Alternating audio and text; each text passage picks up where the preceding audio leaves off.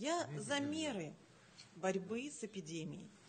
Необходимо и нужно принимать меры, в том числе и какие-то непопулярные решения, но направленные на борьбу с вирусом, а не на выкачивание средств из нашего населения. Мы все с вами прекрасно знаем, кто привозит в первую очередь а, в нашу страну этот самый вирус. Из Испании, Италии, Лондонов, Куршавелей.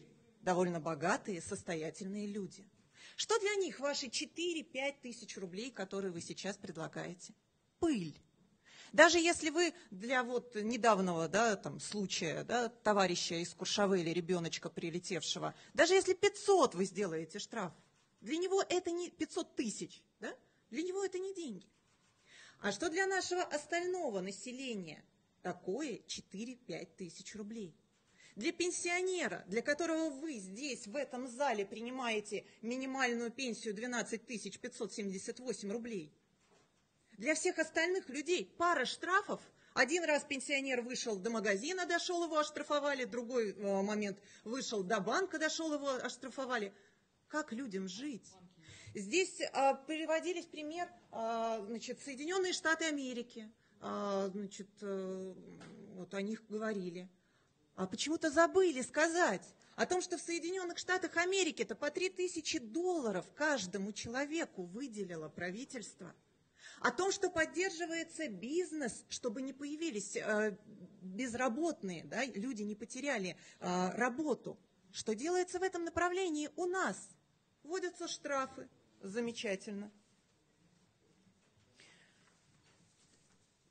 Вам мало историй, когда инвалид, не выживающий на нищенское пособие, выходит продать курточку, а у него изымают эту самую курточку, и судья выписывает штраф в 5000 рублей. Он потом приходит в суд и убивает эту судью. К сожалению, у нас такие случаи были. Вот что вы хотите, партия власти, уважаемая наша?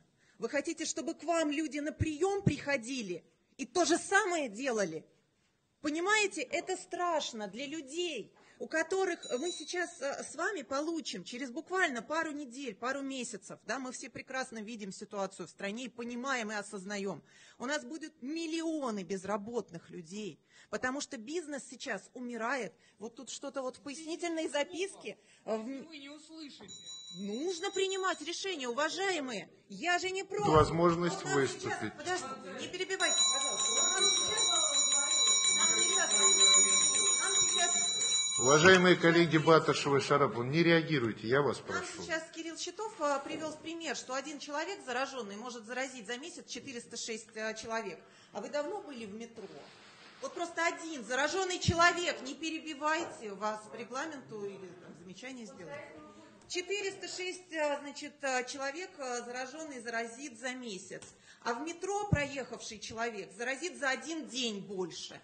Так тогда важнее, может быть, закрыть метро? Может быть, вот вы сейчас вот все раздали масочки, так красиво, так здорово, антисептики. А вы не думаете, что перед каждым магазином нужно раздавать такие же маски, антисептики, чтобы люди друг друга не заражали? Нужны, нужны действия, которые действительно а, будут убивать да, вот это вот распространение этого вируса. А вы что нам предлагаете? Обложить людей штрафами по, по 4, по 5 тысяч рублей. Для бизнеса вообще до, до полмиллиона. Вы, чего- вы о чем вообще, товарищи? Ну вы реально что вообще хотите в нашей стране добиться такими методами? Давайте лучше закон.